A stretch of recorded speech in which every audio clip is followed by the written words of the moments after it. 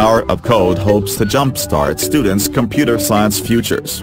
Hour of Code strives to spark students' interest in computer technology. With demand growing for students with skills in computer science and programming, Code.org, a non-profit dedicated to expanding access to computer science education, is launching the Hour of Code as part of the annual Computer Science Education Week from December 9 to 15.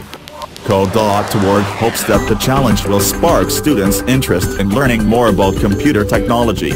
Following last week's release of the latest PISA test scores that show American students lagging behind their peers around the world, especially in math preparedness, the initiative is getting extra attention.